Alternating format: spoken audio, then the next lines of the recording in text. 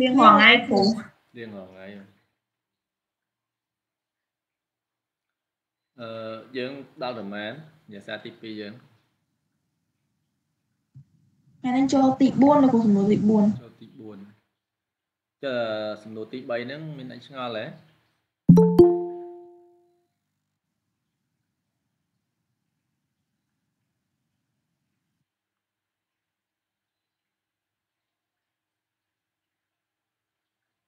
ពីសែនទៅប្រូតអ៊ីនមាន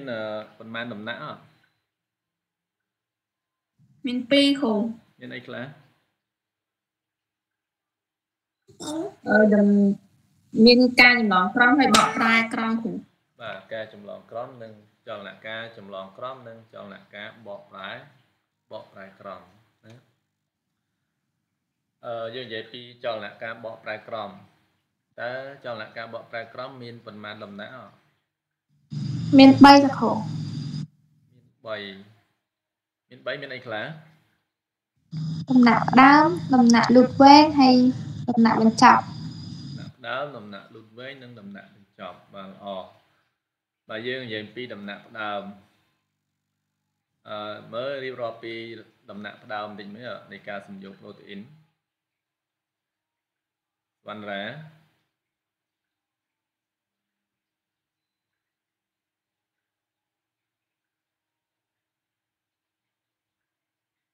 វណ្ណរាឬអត់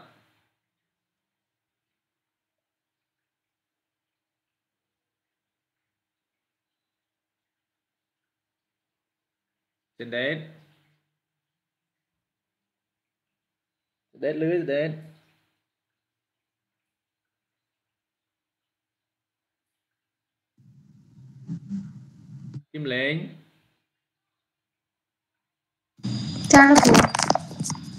លឺចេដេតគឹមលេងចាលោកគ្រូលេខអាចពួនអ្នកបានទេអំពីអឺដំណាក់អឺផ្ដើមនៃការសំយោគប្រូតេអ៊ីន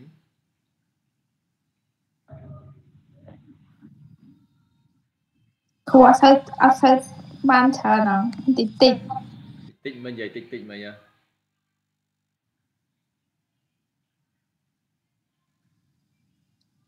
ពិបាកគ្រូកុំបាក់ មិននិយាយមើលពួកឲ្យមើលរូបនេះដំណាក់ផ្ដើមដំណាក់ផ្ដើមឬដំណាក់ដំបូង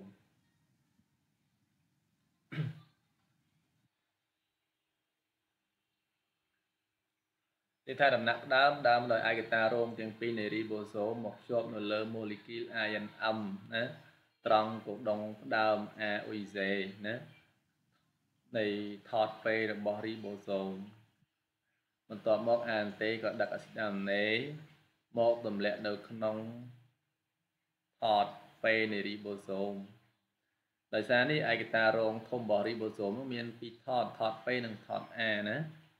ចឹងដំបូងគឺវាចុះធ្វើម៉េចថតពេហ្នឹងឲ្យចំកូដុង AUZ នេះចឹងហើយបានបន្តមកទៀតបានន័យថាអានតេហ្នឹងវាដឹកអាស៊ីតអាមីណេ អានតេដែលដឹកទៅហ្នឹងតើវាមានអង្គទីកដុងវាហ្នឹងត្រូវគ្នាជាមួយនឹងកដុងរបស់ ANM ដោយក្លាទីត3តគ្នានៅលើម៉ូលេគុល ANM គេហៅថាកដុងដោយក្លាទីត3តគ្នានៅលើចុងម្ខាងរបស់ ANT គេហៅថាអង្គទីកដុងអញ្ចឹងអង្គទីកដុងវាតម្រូវជាមួយនឹងកដុងតម្រូវវាតម្រូវគូបាសពេលដែលវាតម្រូវគូបាសបានន័យថាវាបកប្រែក្រមបកប្រែក្រមពី វាកដុងរបស់ ANM ឲ្យត្រូវគ្នាជាមួយអាស៊ីតអាមីណេដែលវាដឹកមកចឹងអាស៊ីតអាមីណេដែលវាដឹកមកនោះឈ្មោះថា methionine ទើបមានអង្គទីកដុងតម្រូវគ្នាឡើងនឹងបានណាចឹងយើងគ្រាន់និយាយថាឯកតារងទាំងពីរបរិបូសូមមកភ្ជាប់នៅលើ molecule NM ណាត្រង់កដុងផ្ដើមនៃថតពេរបស់រីបូរីបូសូមបន្ទាប់មកអានតេដឹកអាស៊ីតអាមីណេឈ្មោះ methionine មកទម្លាក់នៅក្នុងថតពេនៃរីបូសូម ដែលមានការតម្រូវរវាង អង្គទីកដុងនិងកដុងរបស់ IN INM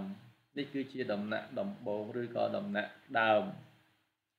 ន័យថាផ្ដើមផ្ដើមចេញពីដំណេឈ្មោះ methionine នឹងឯងណាដំណាក់លូតវែងដំណាក់លូតវែងមានថានៅពេលដែលថត A របស់ ribosome នៅទំនេរ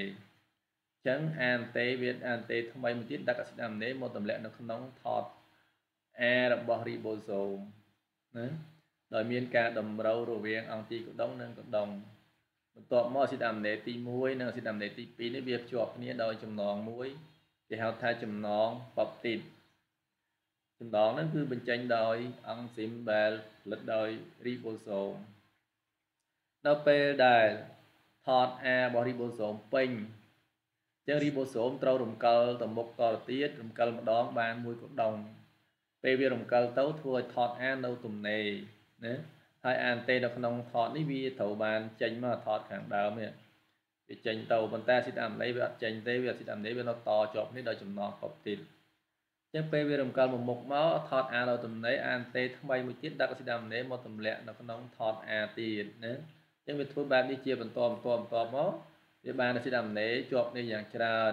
ដែលគេហៅថាដំណាក់លូតលូតវែងណា លូតវែងមានន័យថាអាស៊ីតអាមីណេជាប់នេះកាន់តែវែងទៅវែងទៅបង្កើតបានទៅជាច្រវាក់ពូលីប៉បប៉បទីតដំណាក់បញ្ចប់នៅពេលដែលរីបូសូមលោតទៅដល់ឬក៏ផ្លាស់ទីមកដល់កូដុង stop កូដុង stop មាន3គឺអ៊ុយ AA អ៊ុយ AZ និងអ៊ុយ CA ណាអញ្ចឹងដល់កូដុងមួយណាក៏ជាកូដុង stop ដែរអញ្ចឹងវាជាសញ្ញាមួយបង្ហាញថាការសំយោគប្រូតេអ៊ីនត្រូវបានបញ្ចប់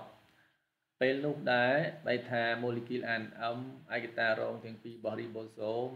អាយន្តេនិងច្រវាក់ polypeptide ត្រូវបែកចេញពីបែកចេញពីគ្នា ហើយរំពេចនោះដែរអាស៊ីតអាមីណេដែលនាំមុខដោយ methionine នេះវាក៏បានផ្ដាច់ចេញពីច្រវាក់ polypeptide អញ្ចឹងច្រវាក់ polypeptide ហ្នឹងអត់មានអាស៊ីតអាមីណេឈ្មោះ methionine ទេ ហើយបើវាចាប់លើសពី50ឡើងទៅវាអាចនឹងក្លាយទៅជា pro ប្រូតេអ៊ីនណាអញ្ចឹងវាមាន3ដំណាក់ហ្នឹងហើយយើងមកបន្តសំណួរទី4ទី4គេថាក្នុងពិសោធន៍មួយ គេប្រើប្រាស់ ribonucleotide ពីរប្រភេទ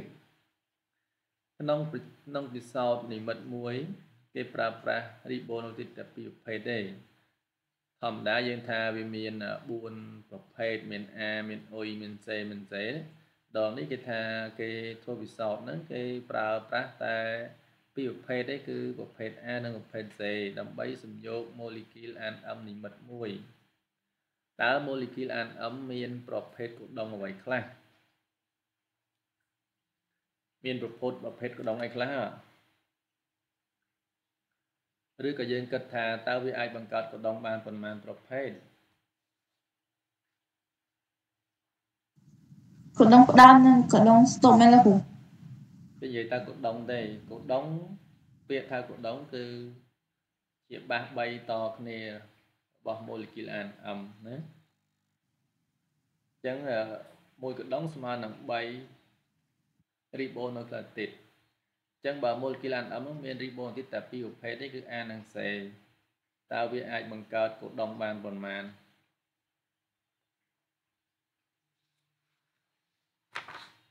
បានប៉ុន្មានគិតតិចមើល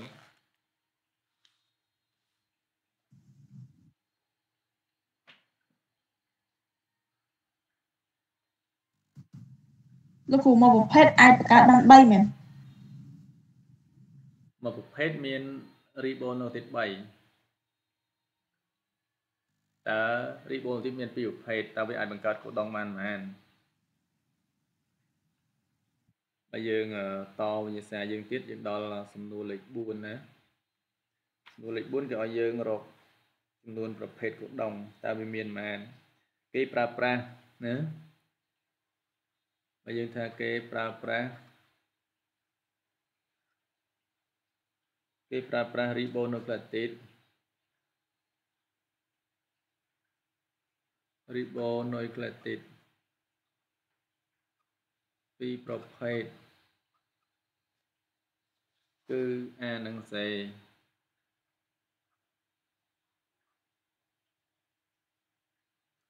គឺ A និង C ដើម្បីសំយោគ NM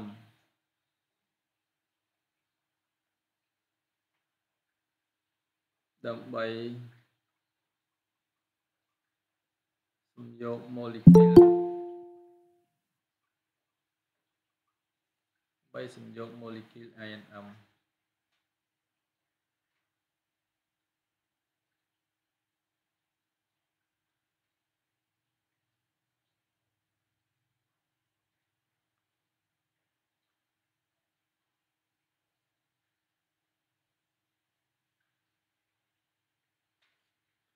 បើយើងថាដើម្បីសំយោគ molecule INM បើយើងថាពាក្យថានិមិត្ត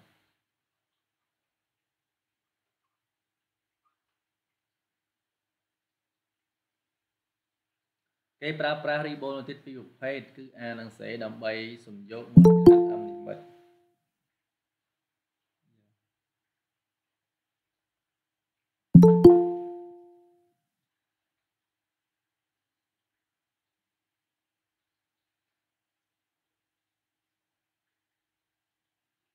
ជាប់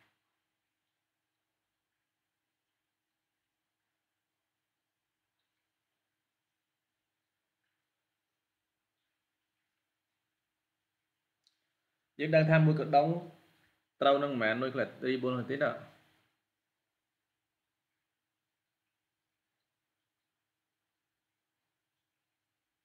ហើយមួយកដុង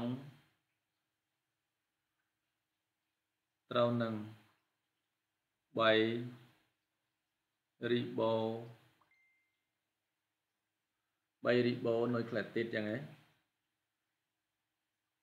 គឺថាកូដុងគឺជាបាស3ដគ្នានៅលើ molecule ion M ដែលជាក្រុមរបស់ acid A តាមន័យនៅក្នុងនោះគឺមានកូដុងផ្ដើមកូដុង stop ថែមទៀតណាអឺចឹងនិយាយថាគេប្រើប្រាស់ ribonucleic ពីរប្រភេទគឺ A និង C ដើម្បីសំយោគ molecule NM និមិត្តហើយមួយកូដុងត្រូវនឹង3 ribonucleic ចឹងយើងនាំឲ្យចំនួនចំនួន ប្រភេទកូដុងចំនួនប្រភេទកូដុងមកអីអាឡូវបើនេះយើងគួរឲ្យទៅមើលតារាងក្រមផ្សេងតិចតិចចំនួនអាស៊ីតអាមីកលោកចំនួនប្រភេទកណ្ដុងស្មើអីនេះយើងមើលប្រធាននេះគេប្រើប្រាស់រីបូទីតពីរប្រភេទគឺ A និង C អញ្ចឹង molecule អាដាមមានដូចផ្លែទីតតែពីរប្រភេទគឺមានប្រភេទ A និងប្រភេទ C ដើម្បីសំយោគ molecule NM និមិត្តហើយមួយកណ្ដុងត្រូវនឹង3រីបូនូក្លេទីតអញ្ចឹងយើងចង់រកចំនួនប្រភេទកូដុងចំនួនប្រភេទកូដុងស្មើតើកូដុងនោះមានប៉ុន្មានប្រភេទណា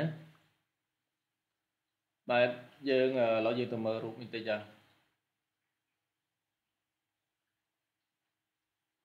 យើង មើលតារាងក្រមសេនតិច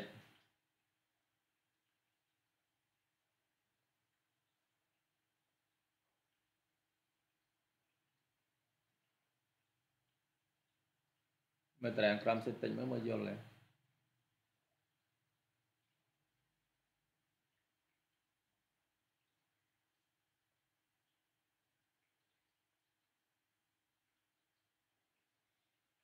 រា ងក្រមសិនតិចយើងមើលនេះមាននៅក្លាតិច4ប្រភេទ4ប្រភេទវាអាចបង្កើតកូដុងបានប៉ុន្មានណាបានប៉ុន្មានកូដុងទាំងអស់មានប៉ុន្មានអត់កូដុងទាំងអស់មាន64ក្នុងចំណោម64នោះគឺមានកូដុង3គឺជាកូដុង stop អញ្ចឹងយើងធ្វើមិនបាន64អត់ Ribonucleic មាន4ប្រភេទអញ្ចឹងយើងយក4ស្វ័យគុណ3មកមួយកដងស្មើនឹង3នៅក្លេទីតអញ្ចឹង4ស្វ័យគុណ3ស្មើនឹង64ណាចឹងដូចគ្នាដែរនេះយើងអាចយើងមាន A និង C A និង C មានពីរប្រភេទអញ្ចឹងយើងយក2បាទ2ជាគោលហើយមួយកដងនេះ ត្រូវនឹង3នៅក្លេទីតអញ្ចឹងយើងយកស្វ័យគុណ3 3 2ស្វ័យគុណ3ស្មើប៉ុន្មានអត់8លោកមក8ចឹងក្នុងករណីវាមានដោយក្លតិតពីប្រភេទ A និង Z វាអាចបង្កើតកូដុងចំនួនប្រភេទកូដុងបាន8ប្រភេទតែយើងដឹងថា8ប្រភេទមានអីខ្លះ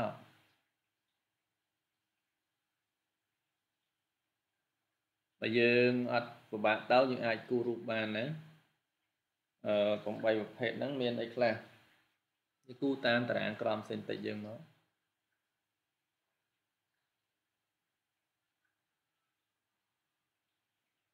មើលយើងនឹងឃើញនៅក្លិតទីទាំង3ប្រភេទប្រភេទកដងអញ្ចឹងយើងមានអឺ នុយក្លេទីតពីរប្រភេទចឹងណានេះវាមាននុយក្លេទីតប្រភេទ A A និង C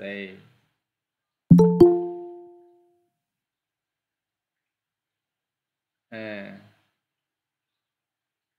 សេដីអឺតែ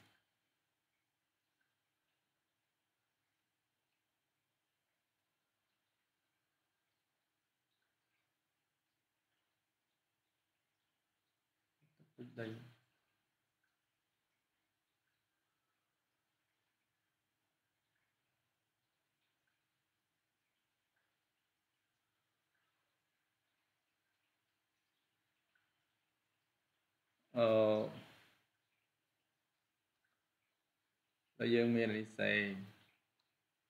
យើងគូនេះមកនេះវាជួរទី2នេះវាមានមកនេះអេ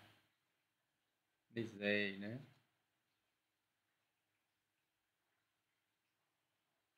អេអេសេអានេះយើងហៅថាអឺអក្សរទី1អាខាងលើហ្នឹងអក្សរទី2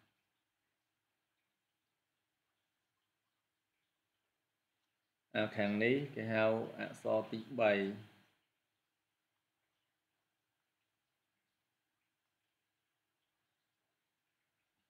ចឹងយើងមើលការ៉ូគឺជាចំនួនកដុងណាចឹងយើងយកអក្សរទី1 a នេះ a នេះអក្សរទី2 a ហើយមកខាងនេះមកអក្សរទី3 a ចឹង a a 3ដងបានន័យថានេះគឺជាភេទដងមួយណាអយើងមើលនេះយើងយកអក្សរទី1 a ណាអក្សរទី2លើវានឹងសេអក្សរទី3អានេះក៏ជាប្រភេទកដុងមួយដែរអក្រូទី2បាទក្រូទី1អក្សរទី1អាណាអក្សរទី2អាអក្សរទី3យើងមើលពីនេះចំនេះមកអក្សរទី3សេអក្រូទី2នេះតបទៀតអក្សរទី1គឺអាអក្សរទី2យើងយកមួយលើមកសេសទី3គឺយើងសេអញ្ចឹងយើងមានជន់គ្នាណាអយើងមើលក្រូក្រោមម្ដងកន្លែងហ្នឹងមើលតន់ទេអូន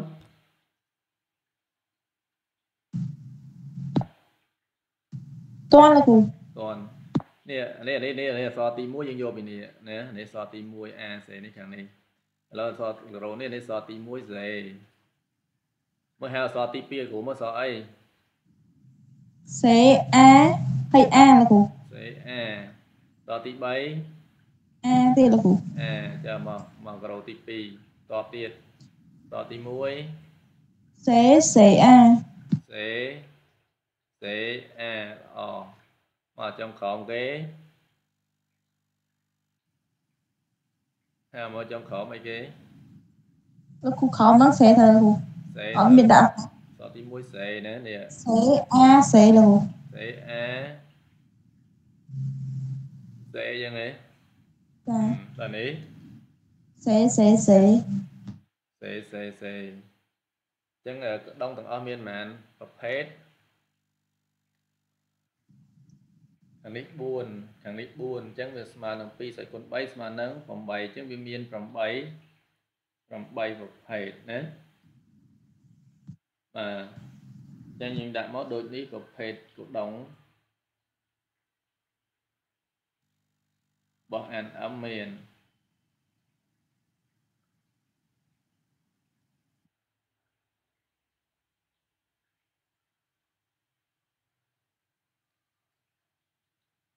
និយាយឆ្លើយមកដូចនេះ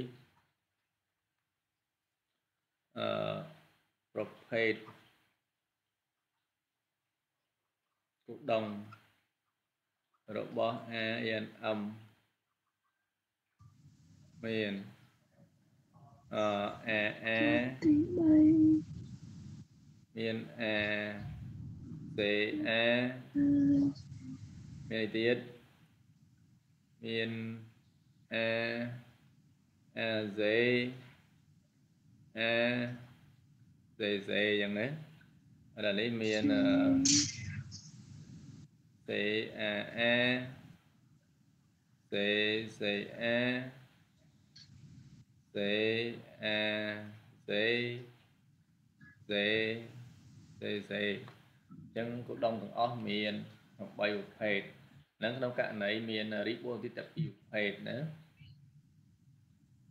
អត់តន់សួរណាអូននេះយើងនិយាយពីប្រភេទកូដុងអញ្ចឹងកូដុងទាំងអស់ហ្នឹងគឺមានខុសគ្នាទាំងអស់ទី5តើវិស្វកម្មសេនតិចជាអ្វីតើការធ្វើវិស្វកម្មសេនតិចត្រូវគោរពទៅតាមគោលការណ៍អ្វីខ្លះតើវិស្វកម្មសេនតិចជាអ្វី ឬក៏ដូចមិនដាច់ហៅថាវិស្វកម្មសេនតិចមិនហៀង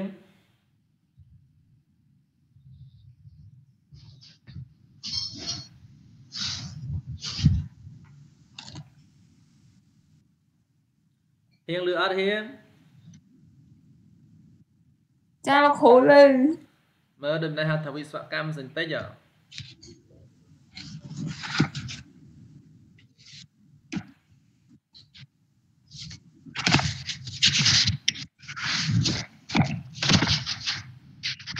អរគុណដែលហៅថាវិស្វកម្មសេដ្ឋកិច្ចគឺជាសំណួរបច្ចេកទេសដែលអាចធ្វើឲ្យមានការបញ្ជាសេនចម្លែកមួយទៅក្នុងកោសិកាបណ្ដុះមួយឬរុក្ខជាតិដើម្បីធ្វើយ៉ាងណាឲ្យកោសិកាថ្មួលទទួលបាននូវលក្ខណៈថ្មីជាប់នឹងសែនបន្ទេនោះជាប់នឹងសែនបន្ទេនោះបាទអបាទនេះគេហៅថាវិស្វកម្មសេនតិចណាអញ្ចឹងយើងស្ដីមកយើងថាវិស្វកម្មសេនតិច លូទី5វិស្វកម្ម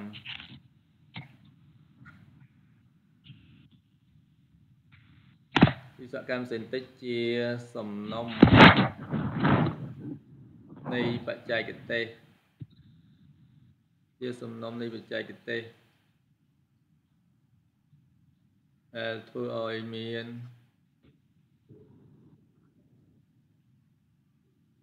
បន្ទេសែន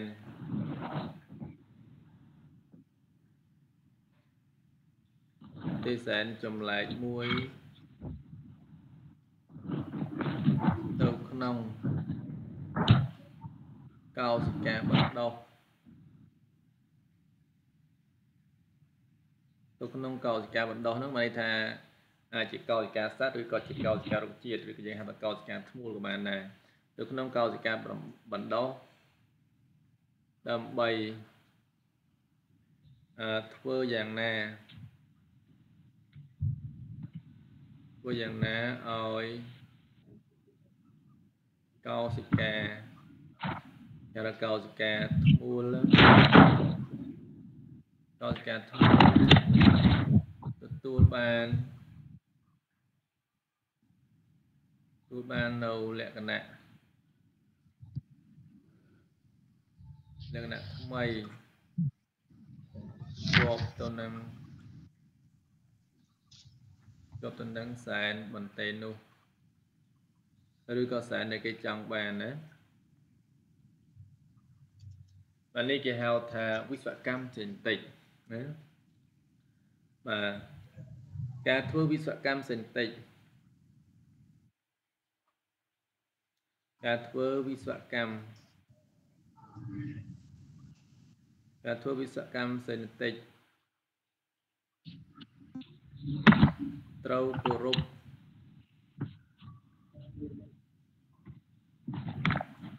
ទៅតាមគោលការណ៍ប្រហែលជំហានអ4លោកគ្រូគោលការណ៍4ជំហានណា បាទត្រូវគោរពទៅតាមគោលគោលការណ៍4ជំហានគឺ4ជំហានហ្នឹងមានអីខ្លះទី1ទី1ការកាត់ molecule ការកាត់ molecule ADN ជាអង្កត់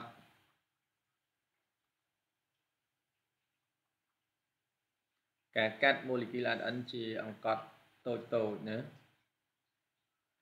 ទី1ការកាត់ molecule ADN ជាអង្កត់តូចតូចទី2បើទី2អីអ្ហ៎ដោយបញ្ចូលអង្កត់ ADN ទៅក្នុង plasmid នៃបាក់តេរីឯលោកទី2ការបញ្ចូលការបញ្ចូលអង្កត់ ADN ទៅក្នុង plasmid ការបញ្ចូលអង្កត់ ADN ទៅក្នុង plasmid របស់បាក់តេរី plasmid អីគេអចលគូ plasmid ហ្នឹងវាមានរាងជារង្វង់របស់វាវាមានរាងជារង្វង់របស់បាក់តេរីអឺ ថាមើលថាត្រូវមើល plasmid ជាអ្វីឬក៏ដូចម្ដេចហៅថា plasmid មើលកំលែងជួយមិនដែរថា plasmid សេដេត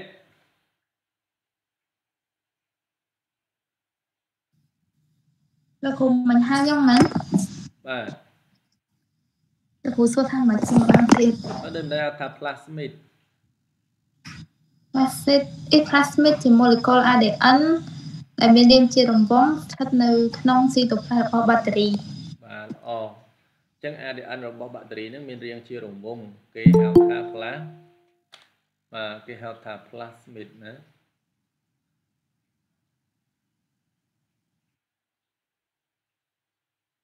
ស៊ីឡានចូលបានអត់ស៊ីឡាន ចូលបានមិនលោកគ្រូបាទការបញ្ចូលអង្កត់ ADN ទៅក្នុង plasmid របស់បាក់តេរីជំហានទី3អីគេអត់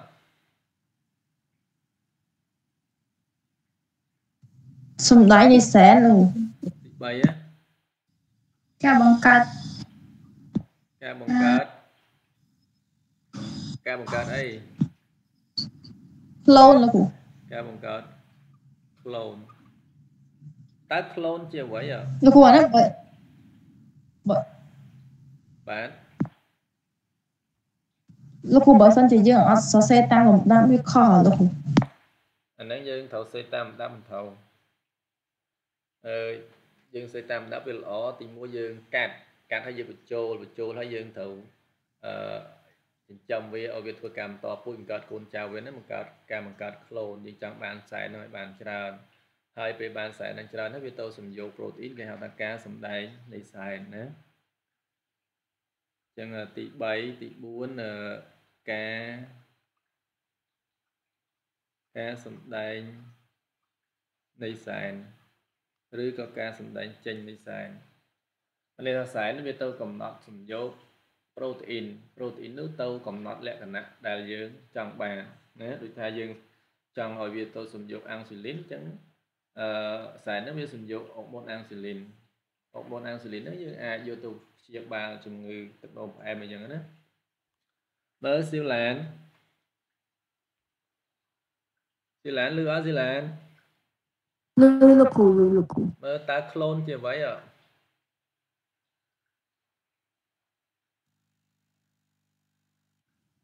តើ clone ជាអ្វីនេះហៅថា clone បណ្ណាគ្រូសួរសាថ្មីអត់លឺលោកគ្រូលឺអត់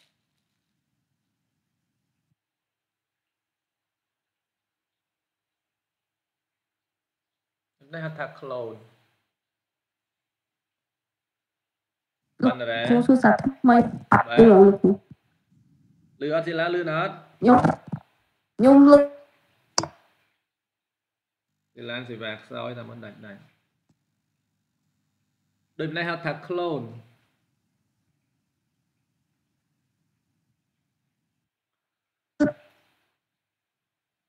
និយាយថា clone clone គឺជា កោបាទជាកោសិកាមួយក្រុមឬជាសាពាង្គកាយមួយក្រុមណាដែលកើតចេញពីកោសិកាមេតែមួយហើយមានព័ត៌មានសេនតិចដូចគ្នាបែបបេះបិទនឹងយើងហៅថា clone ដោយសារពាង្គកាយយើងទាំងមូលនៅពេលយើងពេញវ័យមានកោសិកា10សេគុណ18កោសិកា10សេគុណ18ហ្នឹងកើតចេញពីប្រភពដំបូងគឺ zygote ណា អញ្ចឹងអឺព័ត៌មានសេនតិចនៅក្នុងកោសិកា10សេគុណ18ហ្នឹងគឺដូចព័ត៌មានសេនតិចនៅក្នុង zygote ដែរអញ្ចឹងបើគេថាគ្រប់កោសិកាទាំងអស់របស់សារពាង្គកាយគឺមានសែនដូចគ្នាណាគ្រាន់តែសែនទាំងអស់នោះមិនធ្វើសកម្មភាពដូចគ្នាទេ វាធ្វើសកម្មភាពតែសែនណាដែលវាត្រូវការហើយចាំចាំបាច់តែប៉ុណ្ណោះមកឥឡូវយើងចូលមកយើងវិញ វិស្វកម្មសេនតិចគឺជាសំណុំនៃបច្ចេកទេសដែលធ្វើឲ្យមានបន្ទេសែនចម្លែកមួយ ទៅក្នុងកោសិកាបណ្ដោះដើម្បីធ្វើយ៉ាងណាឲ្យកោសិកាធ្មូលទទួលបាននូវលក្ខណៈថ្មីណាជាប់នៅនឹងសែនបន្ទេនោះឬក៏សែនដែលគេចង់បានក្នុងការធ្វើវិស្វកម្មសេនតិចគេត្រូវគោរពគោលការណ៍4ជំហាន ទី1គឺការកាត់ molecule ADN ជាអង្កត់តូចតូចទី2ការបញ្ចូលអង្កត់ ADN ទៅក្នុង plasmid របស់បាក់តេរី ណាទី3គឺការបង្កើត clone ទី4ការសម្ដែងចេញនៃសែនបើយើងមាន4ជំហានណាបាទចេញសំណួរយើងចប់ហើយយើងចូលលំហាត់ទី1លំហាត់ទី1គេថា molecule ADN មួយមានចំនួនសម្ព័ន្ធអ៊ីដ្រូសែនរវាង A និង T ស្មើចំនួនសម្ព័ន្ធសែនរវាង C និង C ស្មើនឹង3គុណឲ្យ10សេគុណ4ណាតែនៅក្នុងវិញ្ញាសាគូបាញ់ឲ្យវាធ្លាក់អា4នឹងចុះក្រោមវាទៅជា3.104ចាហ្នឹងយើងកែបន្តិចមកស្មើនឹង3គុណឲ្យ10សេគុណ4ណាអឺកកណនីចំនួននៅក្លាទីតប្រភេទនីមួយៗរបស់ molecule ADN រោគប្រវាយរបស់ molecular ADN គិតជាសង់ទីម៉ែត្រប្រមាណទី3សំណួរទី1 ក៏គណនាចំនួន nucleic acid ភេទមួយមួយរបស់ ADN តើឥឡូវយើងធ្វើលំហាត់ទាំងអស់គ្នា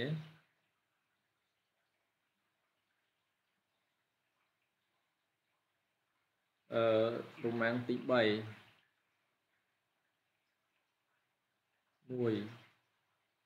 កក៏គេឲ្យយើងអឺកណនីចំនួននុក្លេទីតភេទមួយមួយរបស់ ADN ក ណនីកណនីចំនួននុយក្លេទីតប្រភេទនីមួយមួយរបស់ ADN ចឹងដំបូ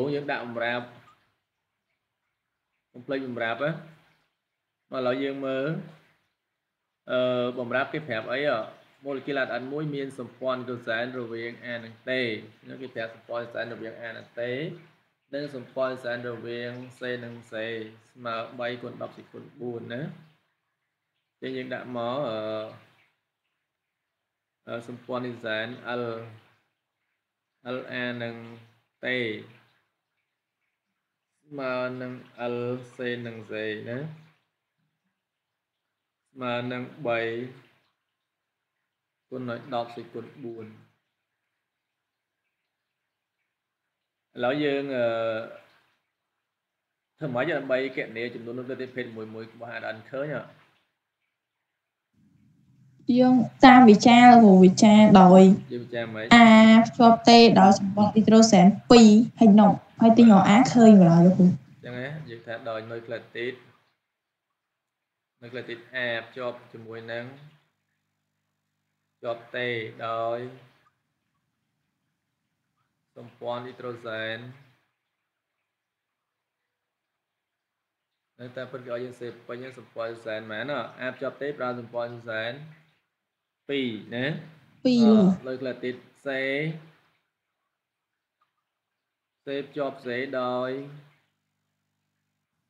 សម្ព័ន្ធនីត្រូសែន3ពេលប្រឡងអត់មានអូសណាយើងអត់អូសឲ្យពេលប្រឡងសេពេញមកឥឡូវយើងធ្វើវិចារអញ្ចឹងហើយយើងធ្វើម៉េចអដាក់ដាក់អឺ LA ទេស្មើនឹង 2A លោកគ្រូហើយយើងទាញរក A ឃើញបាទអញ្ចឹងយកនុយក្លេទីត A អឺភ្ជាប់ទេដោយសម្ព័ន្ធសែន2សេភ្ជាប់សេដោយសម្ព័ន្ធសែន3អញ្ចឹងយើងដាក់ថាយើងបានចុះ យើងបានអឺយើងបានអី L A នឹងទេស្មើស្មើ 2A ស្មើ 2A ឬអឺ 2T ហ្នឹងយើងដាក់ណាក៏បានណាបាទអញ្ចឹងយើងយើងអាចតោងមកយើងនាំមកអី យើងនាំឲ្យនាំមកអីអា A ឡូ A ស្មើនឹង L A ទេលើ2ស្មើនឹង L A នឹងទេលើ2យ៉ាងណា L A ទេស្មើមែន3គុណ10សេគុណ4លើ2ឃើញមែនអត់ វាជា15គុណនឹង10សេគុណ3លោកគ្រូ5គុណ10សេគុណ3អញ្ចឹងណា nucleotide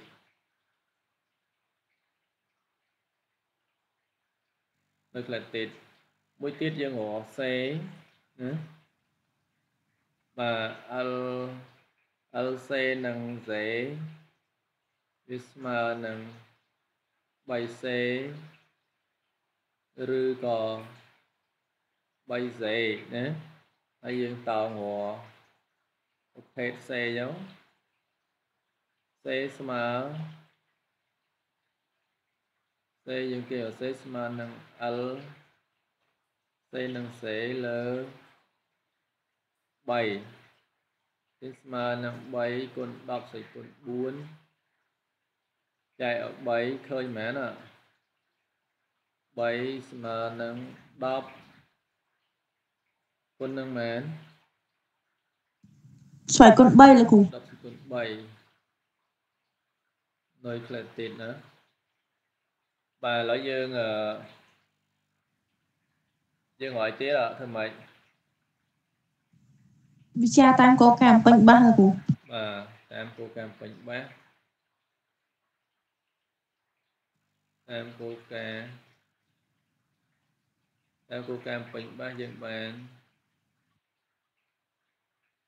អពេញតេសេពេញសេចឹងនាំឲ្យអាស្មើតេសេស្មើស្មើសេយើងដាក់មកដូចនេះអាស្មើតេអាស្មើតេអាយើងស្មើ15គុណ10សេគុណ3នុយក្លេទីត អឺសេស្មើនឹងសេស្មើនឹង10គុណនឹង10សេគុណ3នុយក្លេទីតអញ្ចឹងណាអានេះគឺជាចម្លើយទៅពេលប្រឡងបាច់អូសតតអញ្ចឹងក៏បានដែរយើងគាត់តែយើងដាក់ដូចនេះធម្មតាមកមកបន្តមកទៀតចូលយើងរប្រវែង រប្រវែងរបស់ molecular n គិតជាសង់ទីម៉ែត្រខ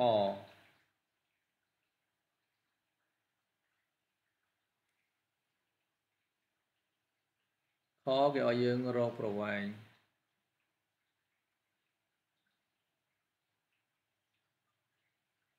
រកប្រវែង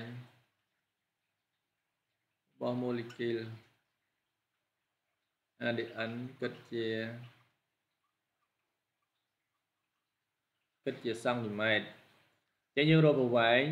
តិចមកយើងប្រើតាមរូបមន្តប្រវែងយើងប្រើរូបមន្ត L ចឹងណា L វាស្មើនឹង m លើ2គុណឲ្យ0.34ណាណូម៉ែត្រនេះចឹងក្នុងករណីនេះយើងដឹង m នៅ យើងអត់ដឹង m លើ2ទេចឹងយើងរក m លើ2បាទដោយសារតែគោលការណ៍ពេញបាសយើងសរសេរហើយហើយយើងថាយើងបាច់វិវិតទៀតទេដោយអំស្មើ a បូក t បូក c បូកបូក c អញ្ចឹងណាអញ្ចឹងអំស្មើបូក t បូក c បូក c ឥឡូវយើង តាមគោលការណ៍ពេញបាសយើងបាន2ដង a បូក2ដង c បើយើងយក2ជាកតាមកនៅសល់ a បូក c យើងកវត្តមកយើងបាន m លើក2 m លើក2វាមិនស្មើ a បូក c ណាអញ្ចឹង a យើងស្មើនឹង15គុណនឹង10សេគុណ3 បូកជាមួយនឹង10គុណ10សេគុណ3 10គុណគុណ3ស្មើស្មើប៉ុន្មានអ25គុណ10សេគុណ3លោកគ្រូ25គុណ10សេគុណ3នុយក្លែទីតណាបាទអញ្ចឹងយើងយើងរកប្រវែងយើងវិចារបន្តិចមកយើងថាដោយ ដោយនុយដោយនុយក្លែទីតដោយនុយក្លែទីតអឺមួយមានមានប្រវែង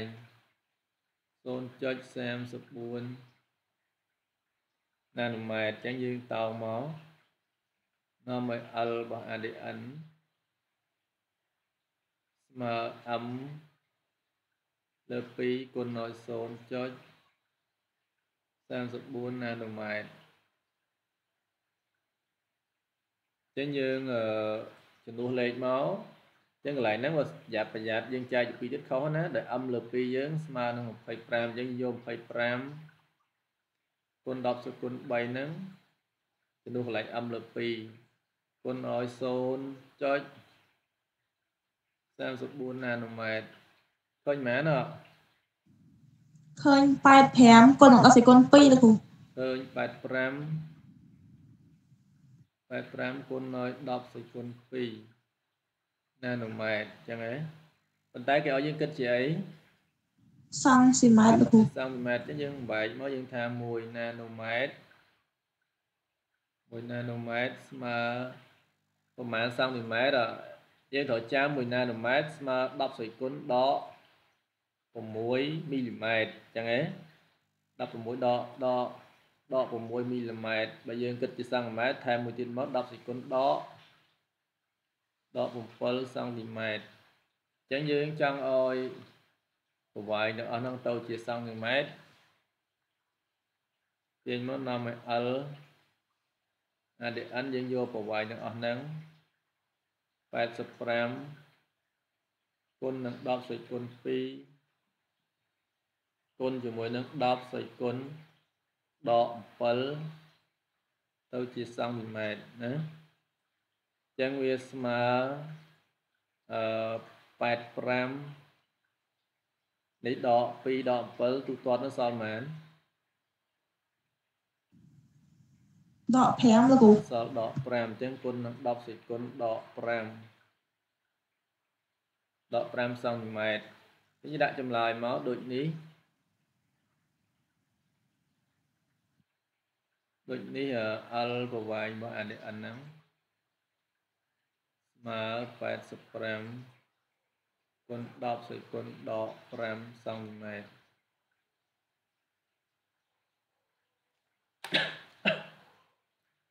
មកចឹងលំហាត់យើងប៉ុណ្ណឹងប៉ុណ្ណឹងមិនវិញអត់មានឆ្ងល់ទេណាអត់ទេលោកគ្រូអត់ទេចុះកំលេង ចេញអស់ហើយគ្រូនៅសាច់ចដេតដេតដែរដេតដល់វិញវល់ slow វាភ្លៀងអញ្ចឹងសេវាខ្សោយហងអញ្ចឹងយើងសម្រាប់ប៉ុណ្ណឹងចុះចាំយើងស្អែកយើងបន្តទៀតណាជម្រាបលាគ្រូបាទបាទ